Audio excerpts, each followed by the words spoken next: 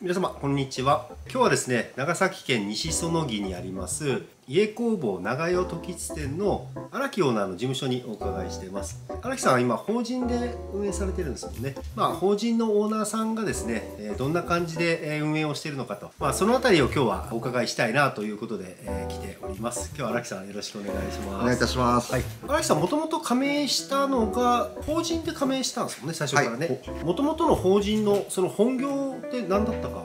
本業はケーブルテレビの、えー営業代理店やって現在もやっております。へえ、あじゃあもともと法人でケーブルテレビのはい。代理店で営業をやられてるはい。わけなんですよね、はい。それはどれぐらいやってたんですか？法設立されて。2年目に家工房の方を開業しました。じゃあもともと本業のケーブルテレビの営業があって2年後に家工房に加盟をしたっていう流れなんですよね、はい。いわゆるその新規事業としてはい。家工房に加盟されたと思うんですけど、はい。なんでまたこの家工房で新規事業をやろうってなったんですか？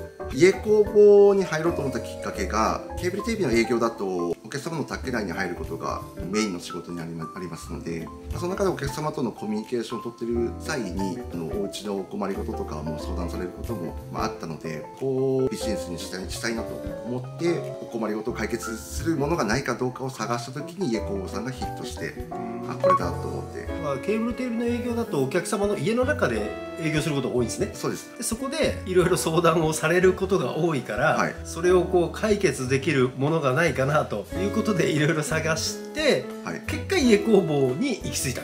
そうです。そんな感じなんですね、はい。ありがとうございます。だからそれはもう選択肢としてはフランチャイズであ新規事業ってなってたんですか？はい。じゃあフランチャイズの資格のサイトとかをいろいろ見たりとかもう見てないんです。あ見ずに、はい。何で家工房知りました？例えば電球交換からとかなんかちっちゃなことからなんかそういうビジネスがないのかなと思って検索の仕方をしたら実際に世の中にあるんだっていうことにすがりつこうと思って。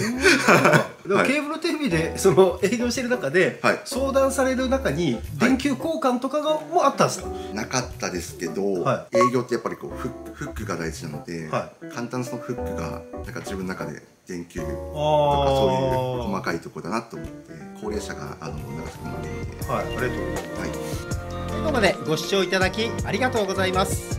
興味のある方はぜひ他の動画もご確認ください。